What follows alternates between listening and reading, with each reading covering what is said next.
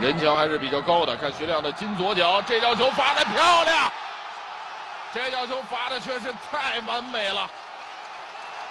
徐亮呢，在上半时临近结束的阶段，利用直接任意球帮助上海绿地申花改写了场上的比分啊！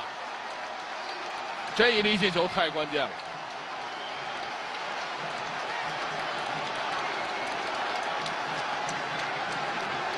每一次得失球之后，我们能够看到上海绿地申花啊，所有的队员都会重新的聚在一起，彼此鼓励。从慢动作的回放来看，这脚任意球罚的的确无解。门将顾超的身体条件已经是相当好了。